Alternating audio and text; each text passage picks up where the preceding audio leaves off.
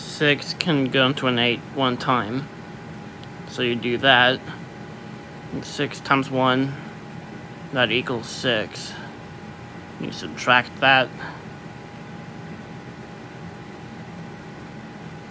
You drop down that 0.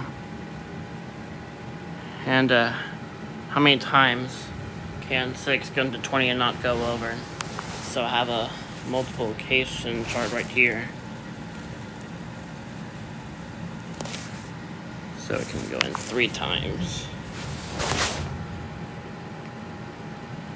And 6 times 3, that equals 18.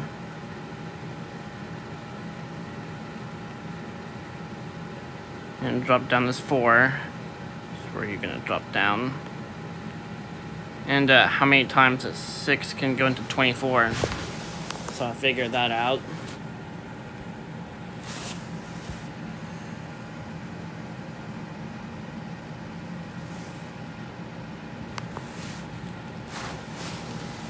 Can go in 4 times. Then 6 times 4 should be 24. And there's no remainder.